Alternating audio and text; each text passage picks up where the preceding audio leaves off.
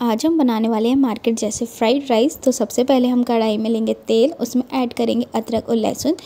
मैंने यहाँ पर जो अदरक, लहसुन है, बहुत ही बारीक काटा हुआ है। आप जो ऑयल है, इसमें कम यूज़ करें। अगर आप नॉन स्टिक कढ़ाई में बना रहे हैं, क्योंकि नॉन स्टिक कढ़ाई ज़्यादा तेल नहीं लेता है और यूज़ भी हम कमी करेंगे। यहाँ पर तेल का, उसके बाद हम उसमें ऐड करेंगे स्लाइड की हुई हरी मिर्च। मैंने यहाँ पे आठ से नौ हरी मिर्च ली है। आप अपने टेस्ट के अकॉर्डिंग लीजिए, क्योंकि मैं यहाँ पर आधा किलो बासमती राइस बनाने वाली हूँ तो मैंने उसके अकॉर्डिंग ली है। उसके बाद हम इसमें ऐड करेंगे तीन से चार कटी बारीक कटी हुई प्याज। प्याज को हम जब तक फ्राई करेंगे, जब तक ये पिंकिश नहीं हो जाती, हम यहाँ पर इसमें नमक ऐड नहीं करेंगे, क्योंकि हमारी सब्ज़ी जो है नमक करने के बाद सौ, सौगी हो जाएँगी, हमें सौगी सब्ज़ियाँ नहीं चाहिए हैं, इसलिए हम इसमें नमक ऐड नहीं करेंगे।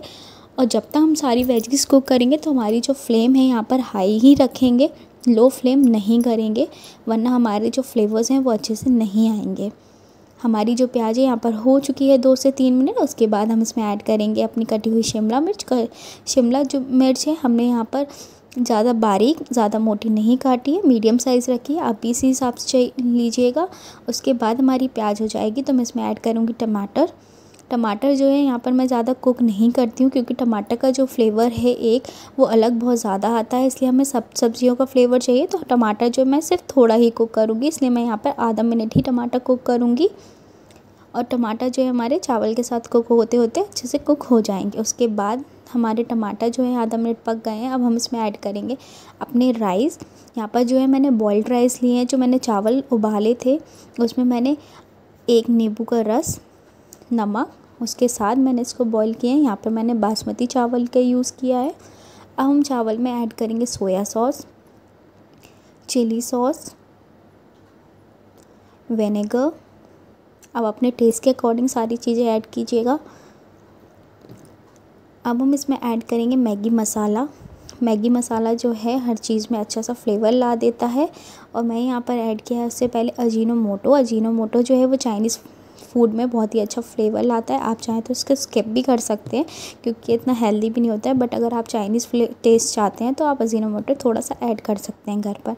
फिर मैंने यहाँ पर ऐड किया है अपना दो packet Maggi masala. Maggi masala बहुत ही अच्छा फ्लेवर देता है।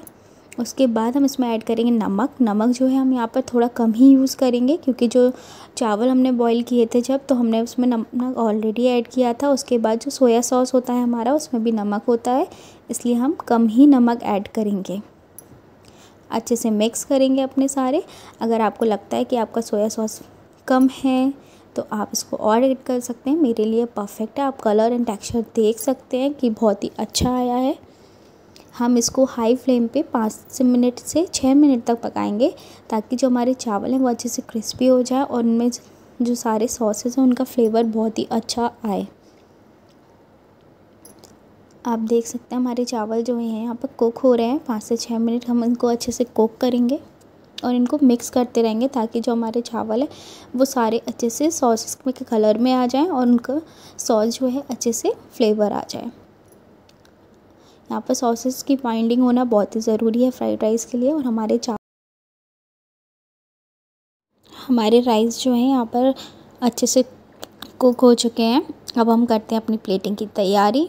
तो सबसे पहले हम इसमें प्लेटिंग करेंगे और आप ये याद रखिए, जब भी हम चावल बॉईल करेंगे तो उनको हम नाइन्टी परसेंट ही बॉईल करेंगे क्योंकि वो अपनी हीट में जब हम स्टेन करेंगे टेन परसेंट ऑलरेडी कुक हो जाएँगे, वरना आपके चावल जो हैं वो खिले खिले और अच्छे नहीं बनेंगे। अगर आप चाहते हैं तो आपके चावल अच्छे और खिले खिले बने तो आप इसमें नींबू का रस ज़रूर ऐड कीजिएगा। बॉईल करते में आपके चावल जो है एक एक बनेंगे।